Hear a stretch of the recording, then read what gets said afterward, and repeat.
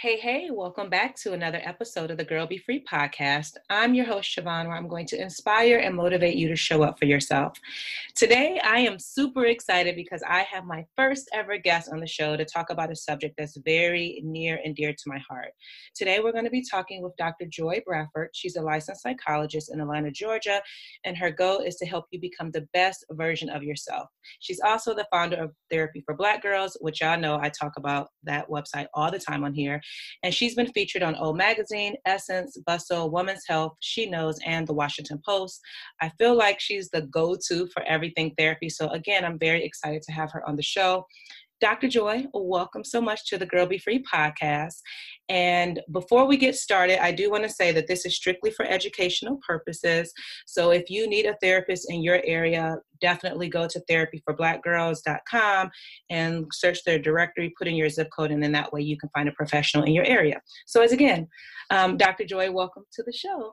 Thank you so much for having me, Siobhan. I'm very excited. I am too, like over the moon excited, especially with this being my you being my first guest. So thank you for being on the show. So if you can tell our listeners just a little bit about who you are and why you created therapy for Black girls. Mm-hmm. Yeah, so you shared quite a bit in the introduction. Um, but I created therapy for Black girls really as as a place for us to have a space to talk about mental health topics that were relevant and accessible for black women and girls. Um, so i think a lot of times when we think about like mental health we maybe only think about things like depression and anxiety or um, you know maybe some of the well, well more well-known kinds of things but there's so much to talk about in terms of mental health and mental wellness. So i really wanted therapy for black girls to kind of be the space where people come to get that kind of information and I feel like that's exactly what it is. I, every time that I'm speaking or I'm having an event or someone is looking for a therapist, I'm always sending them your way. And I feel like you've done a really great job with creating this platform so that you have become like the go to for all things therapy. So thank you so much for creating the platform um, because it's so, as you know, it's so necessary. And so I wanted to have you on the show because, as I've mentioned on previous episodes, I, I wanted to have a conversation around unhealthy mother daughter relationships. And of course, I have my own mother wounds that stem from when I was a child that I am still working through myself. And so recently, I had an episode called The Motherless Child. And Dr. Joy, there was, I received so many responses and stories from women who were basically suffering. Um, and you would never know by just looking at their feet or anything like that, but they had a lot of mother wounds. And so I created the Motherless Child Guidebook to offer support, um, a sacred space for healing your mother wounds to kind of give them an, a resource to kind of help them work through that. But then I also want to have a conversation with you, a licensed psychologist, to kind of answer some of these deeper questions that I cannot answer, that I am not equipped to answer. But I wanted to have you on the show to just to help and give um, a professional background and kind of help women work through this. So we're going to go through the questions that I've already sent you. And the- well, before we start, Siobhan, I just want to say, um, you know, and I know we've kind of talked about this off air as well. I think I am not surprised that you got the kind of response that you got when you opened up um, the space for this kind of conversation, because I think the relationships, particularly between Black moms and daughters, um, like it is often something, if the relationship is not so good, it's not something that is like frequently talked about, right? And so I think sometimes there's a lot of shame, especially especially for daughters who feel like, okay, I could be doing something else to have a better relationship with my mom or whatever, um, because we're often taught that our mothers are to be revered, right? And, and a lot of times that comes at our own expense. Mm-hmm. And so I think a lot of people struggle with relationships with moms, um, and we're not always given a healthy space to talk about these kinds of things. So I'm really not shocked that you got the kind of response that you got when you opened it up. Oh my goodness, I agree. Like there it's so crazy because you know how we can see so many conversations about like the father not being in a home and it's almost like that conversation has become comfortable however when it comes to talking about mama it's like absolutely mm-hmm. not you know she's put on this pedestal and even me like i carried a lot of shame for years because there was not conversation there wasn't therapy for black girls when i was like a teenager, obviously, and even in my 20s. And I suffered a lot, and I felt like I was the only person going through what I was going through. And then now I'm seeing you know, obviously more people are talking about mental wellness, which is fantastic. But as far as this conversation about mother wounds, like I feel like maybe the can is just being opened, um, and hopefully this can stir up a little bit more conversation so people don't feel like they're the only ones that's going through what they're going through, and they can start their healing process. Right. All right. So the first question that we got in it says, How to feel responsible to, or how do I feel responsible to develop a healthy relationship now after it's been unhealthy? I get guilted by my family to do to do more, but most don't know what it feels like being behind closed doors. How would your response be for this person who has an unhealthy relationship with their mother, but they feel guilted by their family that they're supposed to do more?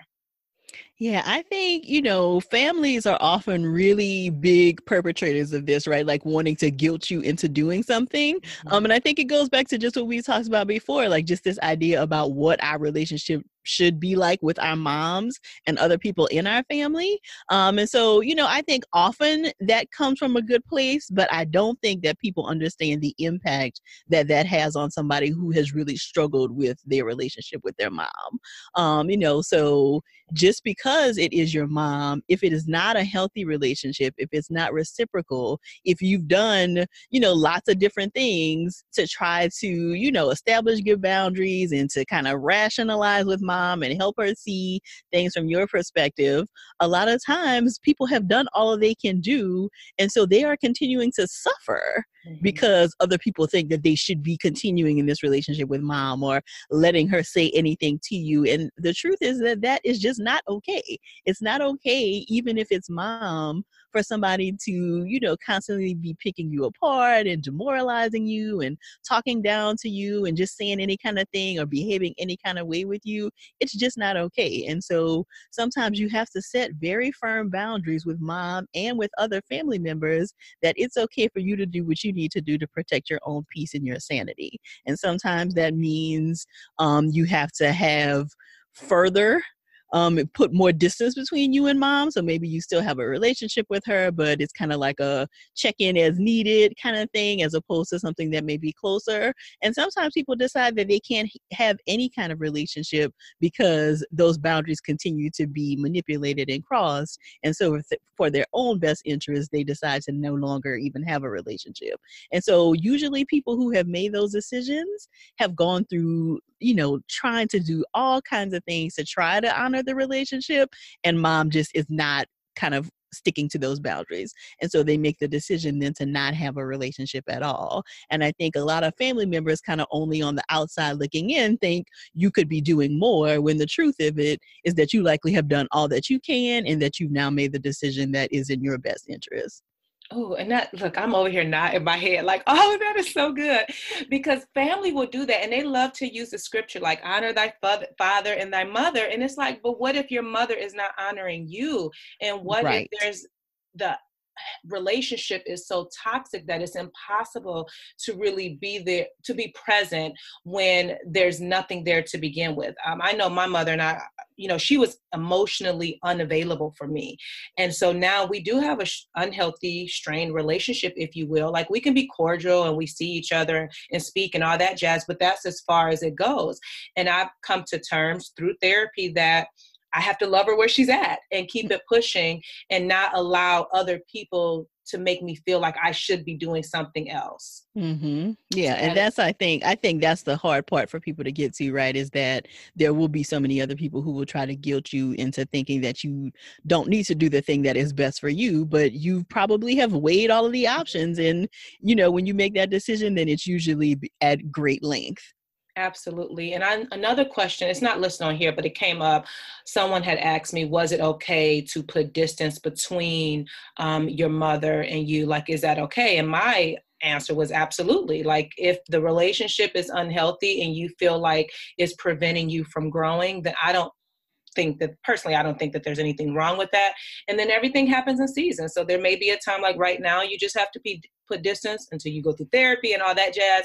And then maybe it'll come back around where it'll be better for you guys. But I don't personally, I don't think that there's anything wrong with that. Yeah, I, I completely agree. Sometimes there needs to be distance there. Awesome. Okay. Number two is how did you find cl- what the question came in is how did you find closure on your own without getting acknowledgement from your mom? I feel like that was directed towards me. Um, and and maybe you can kind of add on to this, but for me, I found closure through going to therapy and realizing because my mother has a mental illness along with some other things, I had to accept that I wouldn't get the apology or the acknowledgement that I needed, and that was totally okay. That I couldn't allow that to prevent me from growing and moving forward.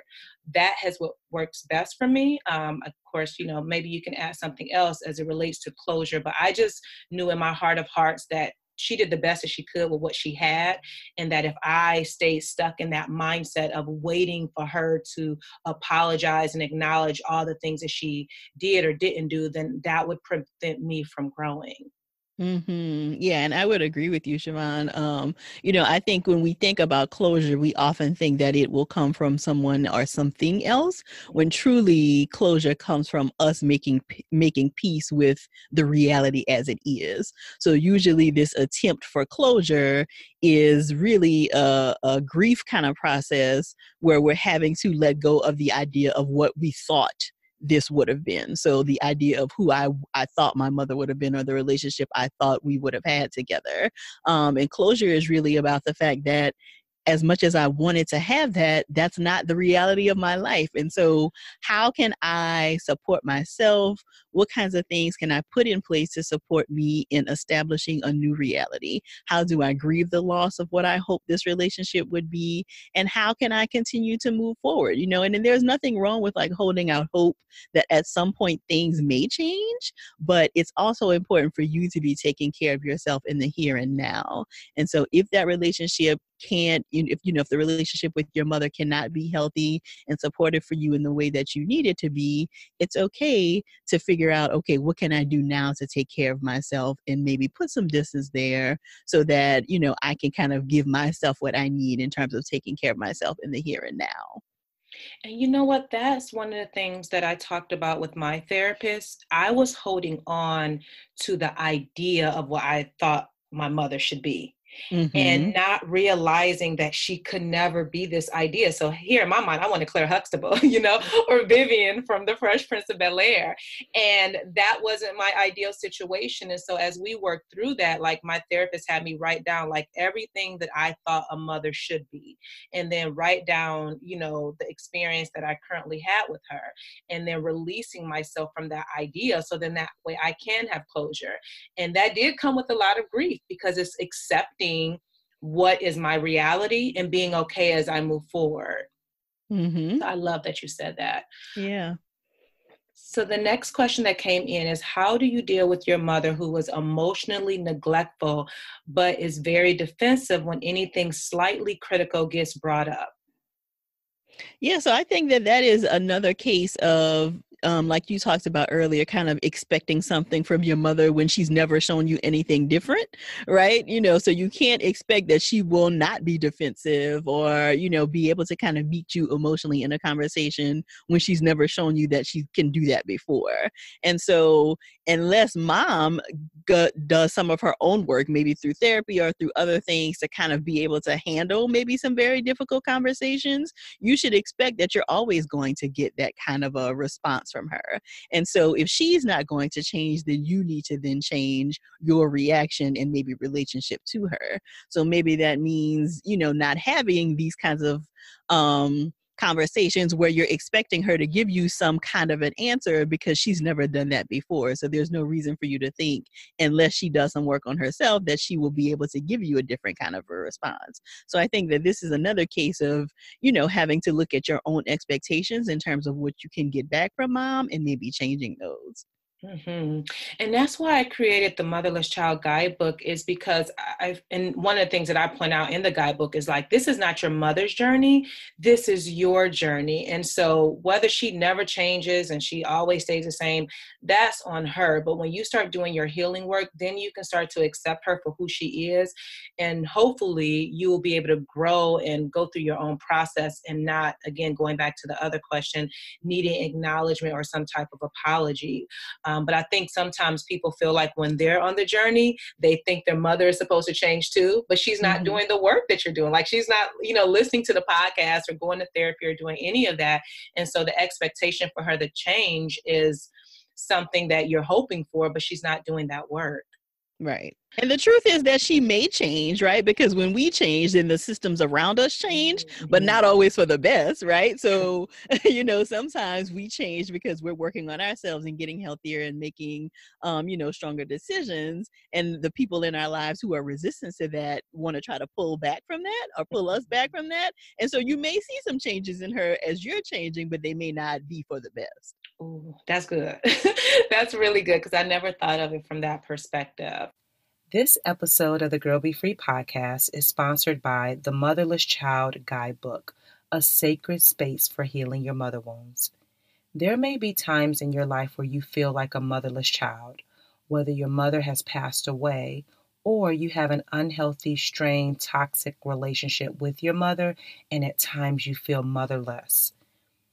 In this guidebook, I am helping you identify the toxic mother patterns that you should be aware of, how to define what a mother wound is and how that wound is showing up in everyday life, how to reparent and mother your inner child, and then also how do you learn how to retell your story, create a new narrative, so that way you're no longer revisiting the negative energy that comes along with your pain. Plus, you're going to find a plethora of bonuses from soul writing prompts, a curated music playlist, affirmations that you can download and listen to whenever you are, a podcast series, a book list with additional resources to help support you on your journey, and over 90 minutes of video content that supports the guidebook to help you on your journey. Invest in your healing today because I am making space for you so that you feel seen, you feel acknowledged, and you know that you're not the only one dealing with sometimes feeling like a motherless child. Go to themotherlesschild.com Again, the website is themotherlesschild.com. Uh-huh. Uh, let's see. The next question is How do you deal with a mother that is jealous of her daughter and don't want to see her happy with friends or companionship? It sounds crazy, but I truly don't understand why she feels that way. Mm-hmm. Yeah. So I think that this probably happens more often than people recognize. Um, and again, I think this is one of those conversations that we kind of maybe are having in secret or don't let people know that this is happening. And so we're, we don't realize how common it is.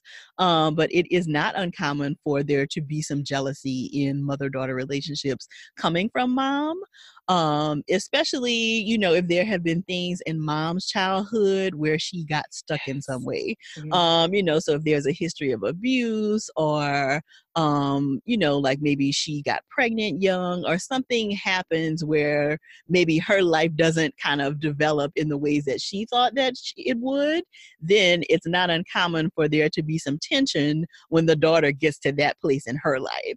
And so you know sometimes moms are afraid that if you get too close to these other people, there will not be space for them in your life.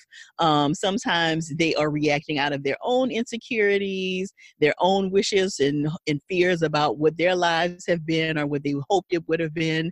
And so this jealousy thing can come up. And so mom won't often maybe even recognize it as a jealousy kind of thing, but it is something that you might pick up on as a daughter. Like, oh, every time you talk about a certain kind of friend, she rolls her eyes or, you know, that kind of thing. And so sometimes that can happen. Um, and it is usually an indication of something kind of unresolved, unworked through in mom's life and not really at all an indication of anything that you actually have going on in your life as the daughter. And you know, I've seen that happen in my own relationship because my grandmother raised me. And mm-hmm. I remember from when I was young, my mother, my mother and my grandmother have always had a quite interesting um, relationship. And my mother is the baby. And so with that, she always felt like, you know, my grandmother I think that there was a little jealousy of the relationship that I had with my grandmother versus with her. And so she would make little comments, and I never thought too much of it because obviously I was a child. But now being an adult, I'm like, oh, that makes sense why she would say that because she felt a sense of jealousy. Now, would she ever vocalize that? Probably not, but now me being a mature adult i totally understand it and i see it. And now my grandmother and my mother have a much better relationship because my mother is doing better now for her which is good. But i definitely saw that in our relationship growing up as well.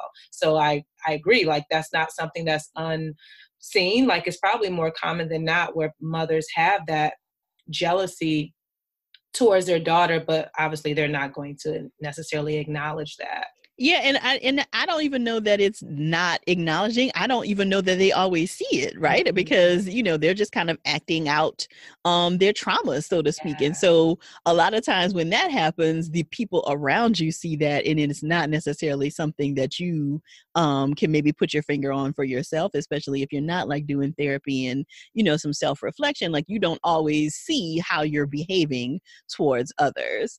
Um, and Dr. Pam Thompson wrote a book called Surviving Mama. I'm not sure if you checked this one out, Siobhan, okay. um, but she talks a lot about this in her book. This like jealousy that can sometimes come up between mom and daughter. Um, so that would probably be an excellent resource for anybody else who's wanting to um, kind of read more and kind of think through what this looks like in their lives. It's called Surviving Mama by Dr. Pam Thompson. Oh, thank you so much for that. I'll make sure that I link to that in the show notes so people can check that out as well. And no, I never heard of it, so I'm gonna. Have to Yeah. oh, yeah. You will enjoy that one then. Yes. Thank you. Uh-huh. Okay. So the next one we have is how do we not follow the same patterns of unhealthy behavior passed down by family members? For example, selfishness, unemotional connections, specifically for moms and dads. But since we're talking about moms, we'll just keep it there.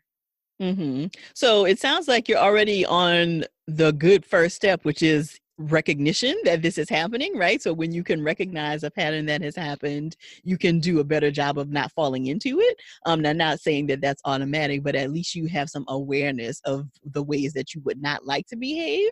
Um, so I think that that's the first step. Um, and then the second step, I think, is some therapy, probably combined with some journaling. Um, you know, so to to really be reflective and intentional about like how you show up in relationships, um, being open to feedback from people, you know, but not getting so paranoid that you're going to like become this thing mm-hmm. that you then like sabotage your relationships or like are weird some way in the relationships. So I think it, it really is a very fine balance of like awareness, but not it becoming paranoia. So re- allowing yourself to show up authentically in relationships, but but being pay, being attentive to your behavior and open to feedback from people about how you are showing up in those relationships. And see, so I showed up in the extreme side. So everything that my mother was, I was mentally competing with her to not be Mm. You know what I mean? Mm-hmm. so she didn't graduate high school. I made sure that I graduated. I made sure that I got married before kids. I made sure that I went on to get my bachelor's. A bachelor's wasn't good enough. I had to make sure I had to get a master's because I wanted to make sure that I can prove to myself that I was smart enough. And everything that I felt like, I guess I didn't like or that caused some type of strain in our relationship, I had to be 10 times better the crazy thing is she wasn't competing with me. It was me competing with her internally and it was killing me because everything that i did nothing was good enough because I still had the mother wounds. And this was all pre therapy. And so every time I thought once I got to this level of success in my mind, then I would be okay. And in actuality, I was just really hurting myself because I was competing with someone who I wasn't like in the first place. Mm-hmm. And it took me going to therapy to realize that I was only hurting myself and I really had to show up and practice healthy behaviors and competing with her and trying not to be her was definitely not the answer. And then I remember also maybe a couple of weeks ago, there was this lady who walked up to me at an event and I was speaking on a panel, and she was watching my social media feed. And she said, I noticed you've been talking a lot about mother wounds. She said, I have my own mother wounds. And she said, everything that I did not want to repeat that my mother did, I did the exact thing with my daughter, and now I'm trying to figure out how to fix it. So it can happen on two different ends of the spectrum mm-hmm. where, you know, these unhealthy behaviors um, can be passed down. Yeah. And, you know, when you think about like living your life so much like so that you don't become someone else then you really kind of miss on miss out on like who am i to begin yes. with right so you, everything is a reaction to what i don't want to be as opposed to a real celebration and cultivation of who i actually am so it is something that you want to, you know, kind of pay some attention to. And like you said, when you recognize you're doing it, then you can do some work to kind of figure out, like, okay, this probably is not the best way. This may not be the route I want to take in my life. How can I kind of undo some of this and go down a different path? Mm-hmm. And I think the eye opening moment for me was it was one day dur- during my therapy session it was group therapy that i was in and we had a session and then at the end a young lady when we were leaving she was like siobhan come here and she was like you know you're nothing like your mother and you never know who's paying attention or who's listening and when she said that that's when it hit me like no i'm nothing like her and it's almost like i needed that reminder from someone on the outside looking in to say that to me for me to kind of go within and start to practice healthy patterns. So that mm-hmm. was really mm-hmm. helpful. Yeah. Um, okay, the next question is What should someone who has never been to therapy look like, or excuse me, look for in a therapist? And is there any pre work that should be done for those who are new to going to therapy? Oh, good, great questions. um, so I think when you are looking for a therapist, you want to keep in mind what kinds of things are going to be important to you.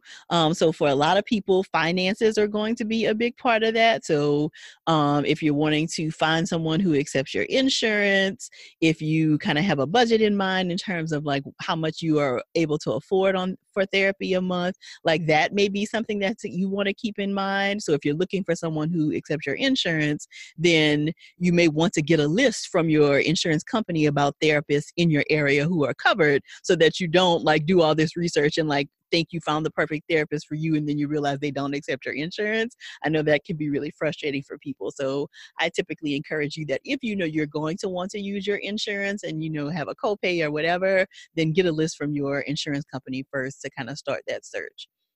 The other thing is that you want to make sure that you find a therapist who has a specialization in whatever is bringing you to therapy. So, if you are struggling with an anxiety disorder um, or depressive disorder or substance abuse, you want to make sure that the therapist that you find has a specialization in that. So, most of us are kind of trained as generalists, kind of through master's programs and PhD programs and that kind of thing. But we often will um, do special programs and certifications and things beyond graduation so that we have a specialty area in um, whatever we choose. And so it would be in your best interest to find somebody who does have a specialization in that so that you have a better chance of, you know, getting the kind of results that you want and making the kind of changes you want to make in your life by working with that person. I also think it's really important to make sure that you find somebody who you think you will feel comfortable talking with. And so sometimes that means finding somebody who matches you in terms of culture, gender, sexual orientation, identity, all of those kinds of things may be important to you, but it is really important for you to find somebody who you will feel comfortable talking with. So it doesn't matter how many letters I have behind my name and how many specialties I have. If I make you feel uncomfortable and you feel like you can't really open up to me in the therapy office, then it's not going to be a good match. So you do really want to make sure that you kind of look through people's websites. Um, most times when you're be, when you're starting to work with a therapist, you can do like a 10 to 15 minute consultation with them on the phone to ask them more questions, get a better sense of, you know, their personality and kind of get any concerns you have cleared up. So I do think that's important too, is to make sure that you find somebody who you think, at least in the beginning, you will feel comfortable talking with.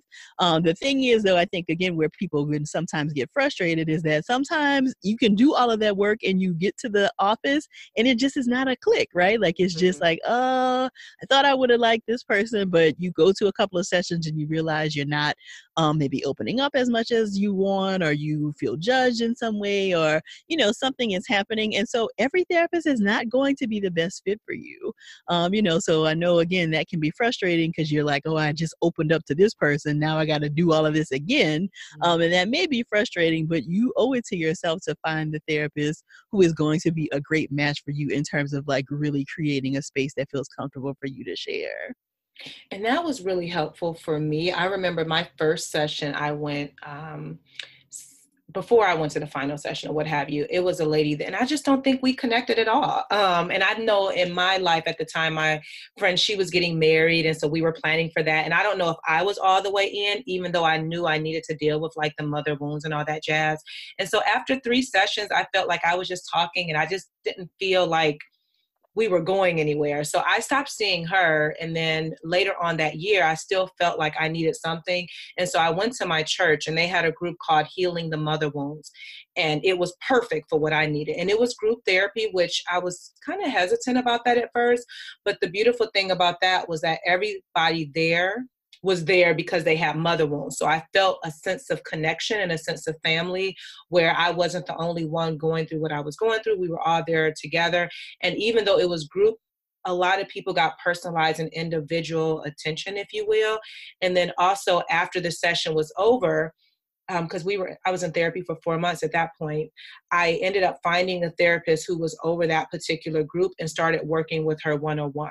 And so i love how you said like just because the first person is not a good fit that doesn't mean that you stop going finding a therapist. You just find someone that's a good fit for you until you have that perfect match yeah, absolutely. And then the other part of the question um, that I didn't quite address was the whole idea around pre work for oh, therapy. Yes. Mm-hmm. Um, so, you know, I think it's a good idea to kind of maybe think through like what kinds of things you're wanting to bring to the therapist. Um, like, so what is really, what are you struggling with right now? How long has this been going on? Like that kind of thing. But you don't want to stress yourself out too much in terms of like preparing for that first session because the therapist will ask you a bunch of questions anyway. So, your first couple of sessions um, are typically what what we refer to as like the intake process, where we're getting a lot of information from you about what's been going on, how long has it been going on, asking you a bunch of questions about your history and relationships and that kind of thing. So you want to maybe do a little bit of work in terms of thinking through, like, okay, what do I want to talk about and like what might be my goals for therapy. But the therapist will also ask you a ton of questions. So if you you know, don't do a whole bunch of work on the front end, it's very likely that you'll still get to some of that because the therapist will ask you anyway. And let me ask another question around like finding a therapist. What if you're someone that's afraid because, you know, you've suppressed these feelings for so long and now bringing them to the forefront? It's a little bit of fear of what's going to come up when you start having these conversations. Hmm. Yeah, that's a great question, Siobhan. Um, and I, I don't think that that's an abnormal fear, right? Especially, I often think about it as like that closet in your house that you shove all the junk in, like when company is coming over and you got to quickly throw some stuff in the closet, right? That closet that you just shove a whole bunch in, and when you finally open that closet, like all of this junk falls out, that can sometimes be what it feels like to go to therapy when you've kind of been shoving stuff away for some time. And so, a part of the therapy process is also educating you on um, the fact that sometimes therapy will feel worse before it feels better, and that we will likely be teaching you exercises so that you can kind of tolerate digging through all of this stuff that has fallen out so that you don't feel like you're going to fall apart just because now you've opened up all of this stuff. Um, so, sometimes in therapy, we will kind of pace you, so to speak, so that you don't overwhelm yourself with like sharing everything that has come out of the closet. So, you know, we might find this one box that we can dig through a little bit at a time as opposed to ripping the lids off all the boxes at once and just dumping it all on the. So, that a, a part of that is also like the therapist kind of setting the frame for therapy to help you understand what it will look like. But I think that that's a very normal fear. Like, what is going to happen now that I finally deal with all of that stuff? And and so the therapist will likely help you to kind of put some things in place so that you don't feel overwhelmed by that process. Okay, okay. Thank you so much for that. Cause that crossed my mind. I'm like, oh, because I know I when I first when I was very afraid because I didn't know what to expect. And mm-hmm. nobody in my circle at the time was going to therapy, nor was it a conversation like it is today, like on social media and all that jazz. And so I was definitely afraid. And even talking about something that's very you know triggering and very emotional like i didn't know what to expect. So thankfully you know i started out in like that group session and when i started going to the same therapist um, on a one-on-one basis it was like we were just picking up where we left off. So thank you for that. Mm-hmm. All right so the next question is how can you help your mother to heal and find closure and peace I know what I could say for this, but it's, it's your, you go ahead. Yeah. So, I mean, so I think you have to be careful in terms of like what you're wanting to do in terms of helping your mother.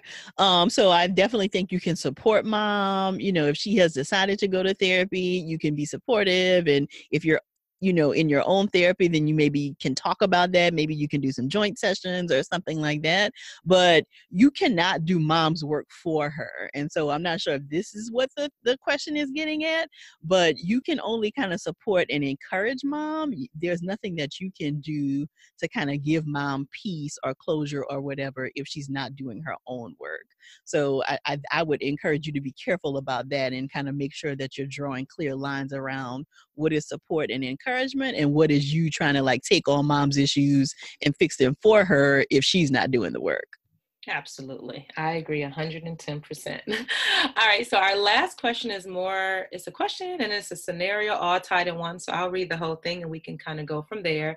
Um, how do you forgive the mother who deliberately told a lie on your father and you believed it? And then you lost years with your father behind it.